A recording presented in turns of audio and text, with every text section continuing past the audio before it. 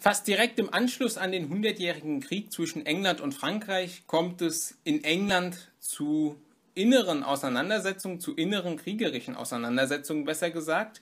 Und diese Kriege nennt man die Rosenkriege und in diesem Video soll es um den Verlauf der Rosenkriege gehen.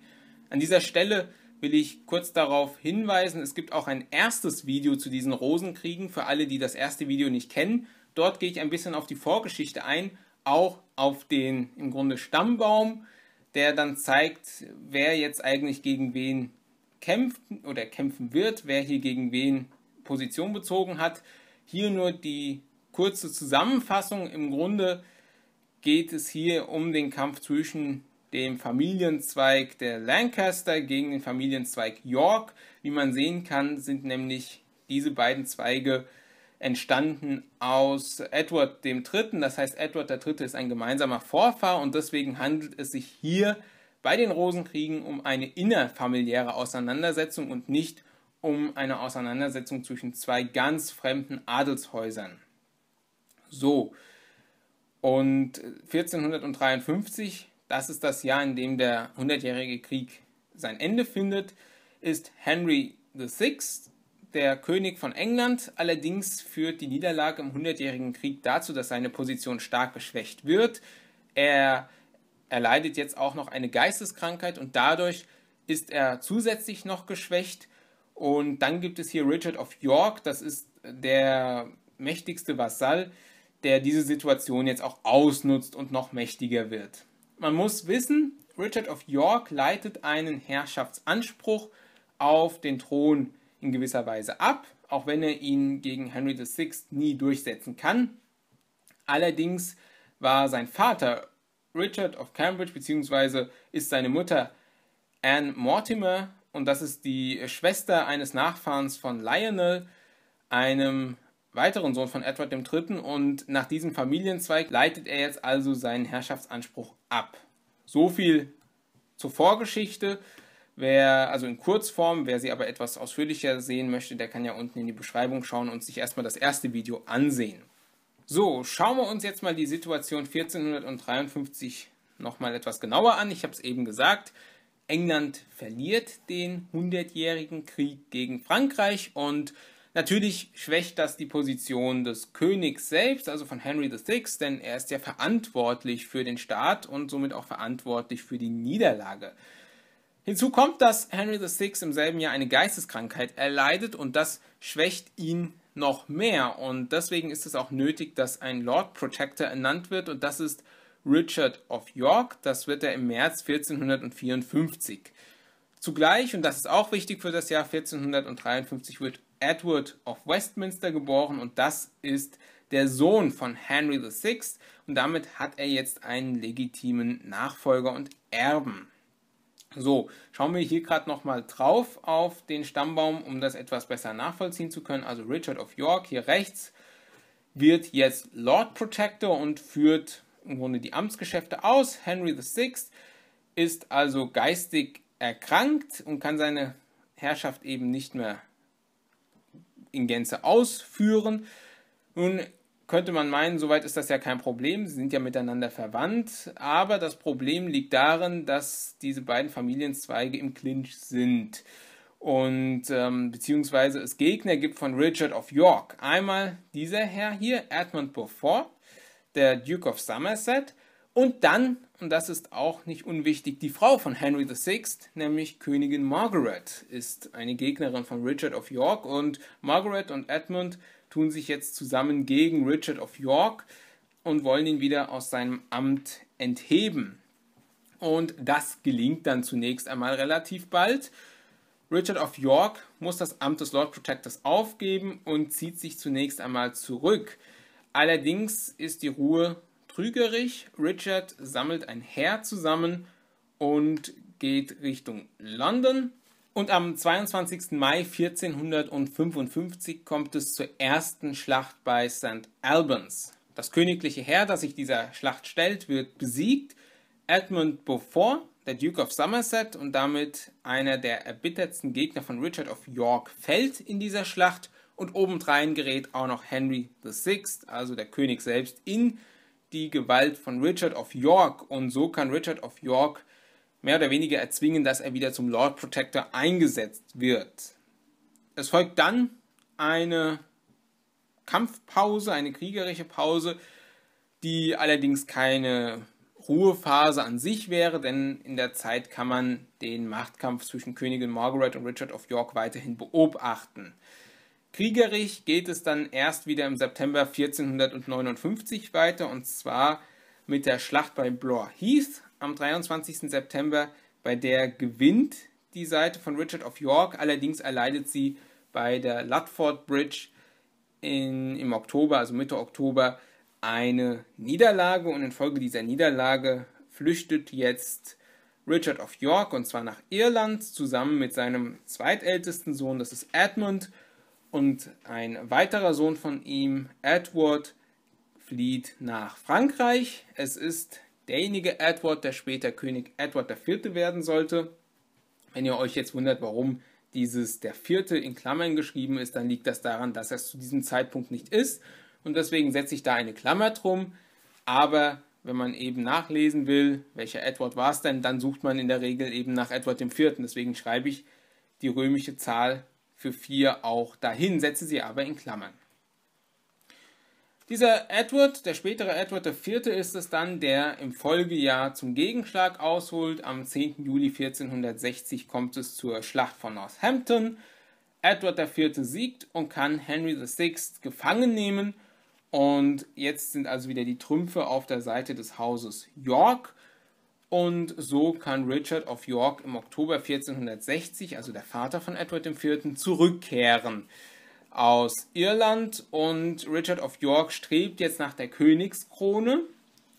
Allerdings versagt ihm das Parlament eine sofortige Übernahme der Königskrone, aber es gibt den sogenannten Act of Accord am 25. Oktober 1460.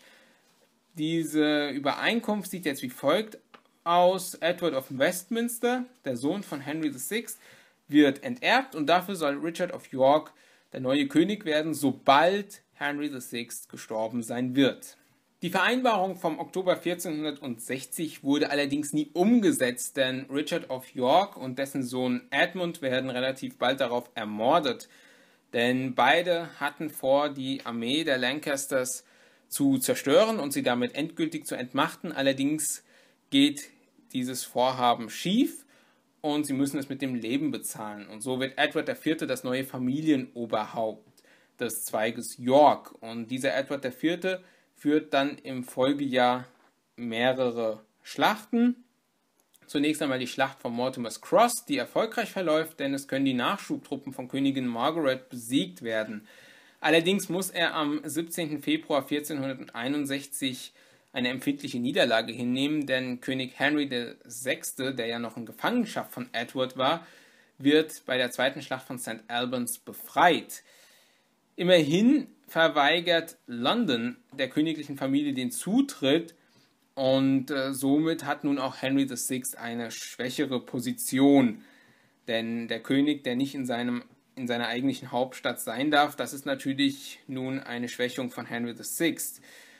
Und ähm, relativ bald darauf kommt es zu einer neuen Schlacht, die Schlacht von Tauten. Und diese Schlacht von Tauten ist die blutigste Schlacht der Rosenkriege selbst. Ungefähr 75.000 Soldaten stehen gegenüber. Die Zahlen variieren ein bisschen, es könnten auch 80.000 gewesen sein oder auch nur 70.000.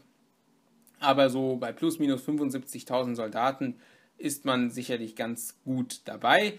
Und von diesen 75.000 Soldaten sterben circa 28.000. Also das sind herbe Verluste, die da beide Seiten hinnehmen müssen. Die Schlacht selbst wird von Edward IV. gewonnen über das Heer von der Königin Margaret und von Henry Beaufort, der neue Duke of Somerset. Und ähm, dieser Sieg war zunächst einmal entscheidend für Edward IV., denn dadurch konnte er jetzt den Königstitel an sich reißen und wurde am 28.10.1461 gekrönt. Henry VI muss flüchten oder flüchtet eben nach Schottland. Die Königin selbst flüchtet dann nach Frankreich. Am 15. 5.1464 äh, erfolgt dann ein weiterer Erfolg für Edward IV. Wir können sehen, ein bisschen Zeit ist jetzt vergangen. Und zwar in der Schlacht von Hexham wird ähm, Henry Beaufort getötet. Und das war ja, wie wir eben gesehen haben, auch ein Widersacher von Edward IV. Zwischenzeitlich hat er sich zwar ausgesöhnt mit Edward IV., aber diese Aussöhnung hielt nicht lange. Und äh, durch diese Schlacht von Hexham wurde ein weiterer Widersacher besiegt und in dem Fall sogar getötet und damit ausgeschaltet. Danach könnte man eigentlich meinen, könnten die Rosenkriege an ein Ende gelangt sein, denn immerhin Edward IV. hat seine Macht erlangt, er stabilisiert seine Macht auch in gewisser Weise und äh, zunächst einmal deutet eigentlich nichts darauf hin, dass diese Rosenkriege jetzt noch weitergeführt werden würden. Allerdings passiert jetzt im Jahr 1469 das folgende: Es kommt zum Bruch mit Richard Neville und Richard Neville ist der Cousin von König Edward IV. Und dieser Bruch mit Richard Neville sollte den Konflikt wieder neu entfachen. Was sind jetzt eigentlich die Gründe dafür, dass dieser Konflikt entbrennt? Ein wohl wichtiger Grund war, dass Edward IV ein Bündnis mit Burgund angestrebt hat, wohingegen Neville ein Bündnis mit Frankreich angestrebt hat. Und äh, ja, nun, Frankreich und Burgund sind nun mal sich noch nicht grün gewesen in dieser Zeit. Und nun ist es auch so, dass die Hochzeit von Edward IV. nicht nach dem Sinne von Richard Neville war. Und so kommt es letztendlich zu diesem Bruch zwischen Richard und Edward. Und so beginnt eine Rebellion gegen den König, gegen König Edward IV. Diese Rebellion wird angeführt von Richard Neville und seinem Bruder George Neville. Der König wird gefangen genommen, allerdings wird er dann auch relativ bald befreit von seinem Bruder Richard, der spätere Richard III. Und Neville flieht daraufhin und äh, will nach Frankreich fliehen und verbündet sich dabei mit Königin Margaret, beziehungsweise zu diesem Zeitpunkt, da Edward IV. der König ist, ist sie nicht die Königin. Also sie verbündet sich mit Margaret, der Frau des ehemaligen Königs Henry VI. So ist es ganz korrekt.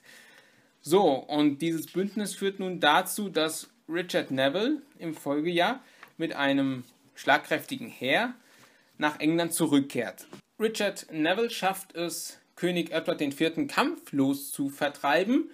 Edward IV. flieht in die Niederlanden und von dort plant er seinen Gegenschlag Zunächst wird Henry VI wieder König über England. Allerdings verbleibt die Königin Margaret in Frankreich, weil sie erst wiederkommen wolle, wenn die Herrschaft auch wirklich gesichert sein werde. Im März 1471 kommt es dann zum Gegenschlag von Edward IV. Am 14.04.1471 findet die Schlacht von Barnet statt und in dieser Schlacht fällt Richard Neville und das war dann wiederum ein großer Erfolg für Edward IV., weil damit ein starker Widersacher gestorben ist. Und kurz danach kehrt Margaret aus Frankreich zurück, denn sie will mit Hilfe von äh, Truppen aus Wales gegen Edward IV. kämpfen. Allerdings erreicht sie Wales nicht. Sie wird gestellt und es kommt zur Schlacht von Tewkesbury, in der Königin Margaret besiegt wird. Aber was gerade für das Haus Lancaster noch schlimmer wiegt, ist der Tod von Edward of Westminster, dem einzig legitimen Sohn von Henry VI. Und am 21. Mai 1471 stirbt dann Henry VI. Er wurde möglicherweise ermordet, so ganz genau ist das nicht klar. Aber was klar ist, mit seinem Tod endet der Familienzweig Lancaster und Edward IV. wird somit neuer König. Allerdings ist Edward IV. nicht ohne Konkurrenzkönig. Und das sieht man hier jetzt auf diesem Schaubild, also auf dem Stammbaum. Also Edward IV. ist zunächst einmal König und die direkte Linie über die ja, Henrys ist damit erloschen 1471, aber es gibt noch diesen Henry VII, der spätere Henry VII. Zu dieser Zeit hieß er noch Henry Tudor. Und dieser Henry Tudor erhebt schon zu dieser Zeit ähm, oder wird zumindest zu dieser Zeit schon mit Ansprüchen versehen, dass er König sein könne. Er ist, wie man das hier sehen kann, mütterlicherseits mit dem Haus Lancaster verbunden und äh, väterlicherseits dann also mit dem Haus Tudor. Und äh, dieser Henry sollte dann ja auch später tatsächlich König werden. Und jetzt schauen wir uns an, wie er das geworden ist. Edward IV. war wie gesagt nach dem eigentlichen Ende des Hauses Lancasters, zumindest der direkten Linie, König und da war er auch zunächst einmal gesichert König. Am 9. April 1483 verstirbt dann Edward IV. und dessen Nachfolger soll Edward V. werden. Schauen wir uns das gerade mal an. Edward V. ist nämlich der Sohn von Edward IV. Er soll eigentlich der Nachfolger von Edward IV. werden. Allerdings gelingt es dem Onkel von Edward V., das ist Richard, also der Bruder von Edward IV., die ja, Gewalt über die Erziehung von Edward V. zu bekommen, denn Edward V. ist zu diesem Zeitpunkt erst zwölf Jahre alt und damit nicht volljährig und nicht mündig und deswegen braucht er noch einen Erzieher, einen, einen, der sozusagen ihn anleitet für das spätere Leben und Onkel Richard der Dritte, der spätere Dritte, schaffte es. Allerdings hat dieser Onkel Richard jetzt eigene Ambitionen und will Edward gar nicht zum König krönen. Er lässt ihn nämlich zusammen mit seinem Bruder Richard gefangen nehmen und in den Tower stecken. Von dort kehren sie nie wieder zurück, also möglicherweise wurden sie 1483 auch getötet, also ermordet. Und Richard III. wird am 6. Juli 1483 neuer König. Allerdings, dadurch, dass Edward V. und auch das, dadurch, dass sein Bruder Richard nie wieder aufgetaucht sind, ähm, fallen jetzt einige der Großen in England von Richard III. ab, denn dieses Vorgehen billigten sie nicht und sie schließen sich eben denjenigen an, der auch noch Thronansprüche erhebt und das ist Henry Tudor. Und so bekommt jetzt Henry Tudor immer größeren Zulauf und wird immer stärker. Im Herbst 1483 scheitert eine erste Revolte von ihm gegen Richard III., aber 1485 kommt es dann zum Sieg über Richard III. In der Schlacht von Bosworth wird äh, Richard III. getötet und damit ist Henry Tudor der neue König über England und damit ist das Ende der Rosenkriege erreicht. Auch wenn es danach noch einzelne Auseinandersetzungen gegeben hat, im Wesentlichen sind hier jetzt die Rosenkriege an ein Ende gelangt. Und jetzt schauen wir mal, wie sieht das Ergebnis 1485 aus. Das Haus Lancaster ist im Grunde ausgelöscht worden. Das Haus York ist mit dem Tod von Richard III. auch ausgelöscht worden. Und Henry VII., also Henry Tudor, heiratet dann Elizabeth, also eine Tochter von Edward IV. aus dem Hause York. Und letztendlich sind somit die beiden Familienzweige Lancaster und York mit dieser Hochzeit und mit Henry VII. wieder zusammengeführt. Und das ist dann das Ergebnis dieser Rosenkriege.